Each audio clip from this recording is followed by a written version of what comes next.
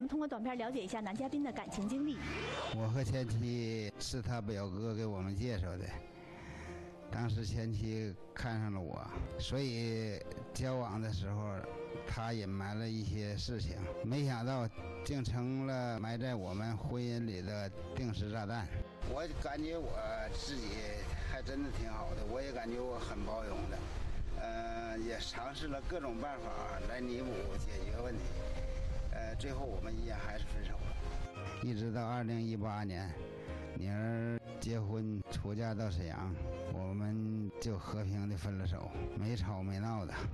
我离婚之后，呃，大家很多人给我介绍，但是我这人呢不将就，宁缺毋滥，所以说我要是能找到对上眼缘的，呃，我一定不会亏待你，呃，那包能包容你，之间是有什么隐瞒的事儿，造成最后婚姻的破裂了？就主要是这个原因，就是他在我们是经过别人介绍的，介绍之后，介绍人也不知道他多大，他就瞒了两岁。他瞒完这两岁是比你大了还是比我大？啊，本身他比你大。对，他瞒完两岁之后就跟你一边大了。这个该该我家呢，就跟我母亲就反对大的，我也比较。还是比我大的。你是什么时间啊？知道了，就是他比你大两岁。啊，登记去知道了。那那阵你说都日子定了，也也呃，请帖也下了，就没没这算是一个定时炸弹吗？你会因为这件事儿小事儿完了想到大事吗？后期我我很能接受一切事物。嗯。但是我母亲、我父亲始终过不去这个。就是欺骗嘛，也属于欺骗。随之而来的麻烦挺多，啊！但是就是我牵扯到我们结婚，因为我母亲直接就不给那些钱了，啊。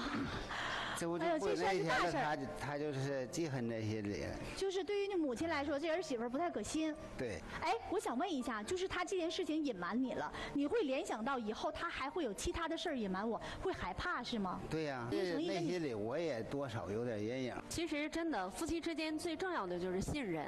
如果没有了信任的话，可能是一切都没有根基了。要是你就上那台了，你就没说实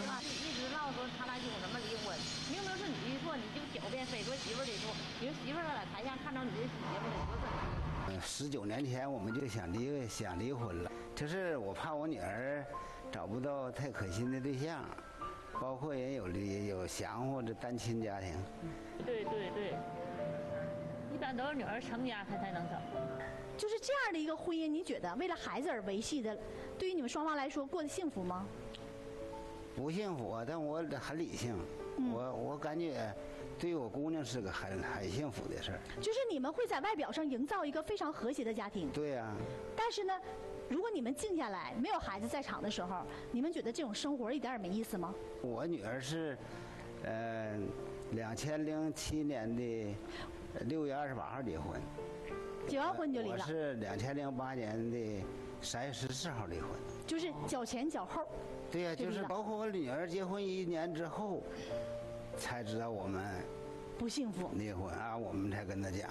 也就是说，之前孩子在这个家庭当中一点也没体会到这家庭有什么不一样的地方。没有啊。我想问一下二号女嘉宾，为了自己的孩子，就应该隐忍不幸福的婚姻，你赞同这种做法吗？